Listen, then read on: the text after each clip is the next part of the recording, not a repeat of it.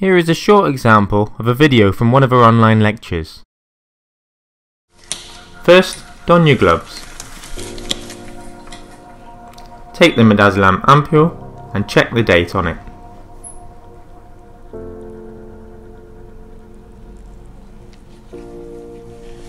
With the red dot on the neck of the ampule facing you, confidently break the top of the vial. Use gauze when doing this to protect yourself from injury. Place the 21 gauge green needle on the end of a 5ml syringe and draw up the entire contents. You will sometimes need to invert the vial to get all of the solution, but as you see here, the needle does reach all the way to the bottom of this ampule.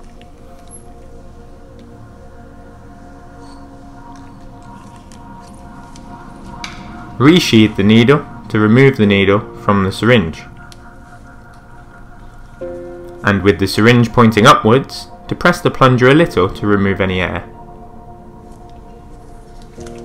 Label the syringe midazolam and repeat exactly the same for the 0.9% saline solution.